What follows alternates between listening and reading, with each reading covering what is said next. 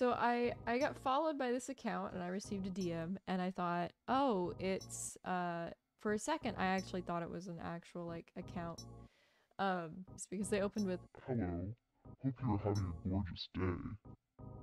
So I said, "You too." You know, accepted it. Uh, you know, I didn't really like look at the account before saying that. And then she says Thanks. with two S's. And then they said, I just saw feed, and it seems like you're interested in artwork. Is that correct? And this is when I realized this was a spam account.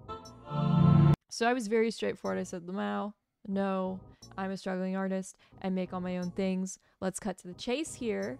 Though I know you're one of those cute little scam accounts, but I was wondering if you'd allow me to interview you. It would be anonymous. I wouldn't show your account. I just want to know a few things. So they say, Sure, why not? Ask me, and I will definitely respond to you with kind. Okay. So, question one How did you decide to do this line of work? Sorry, I can't understand. When you made the account, why did you make this account?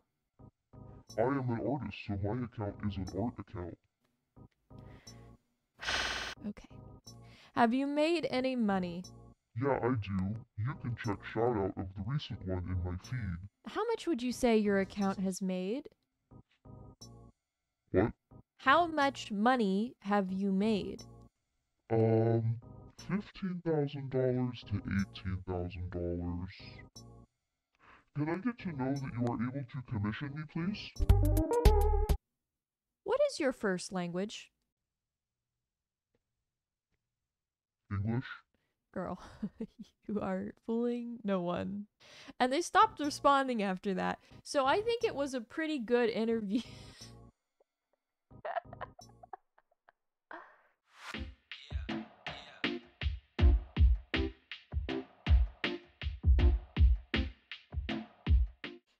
All right, this is round two because the first time that I recorded this, I was watching a different VTuber stream in the background and um it picked up throughout the entire audio.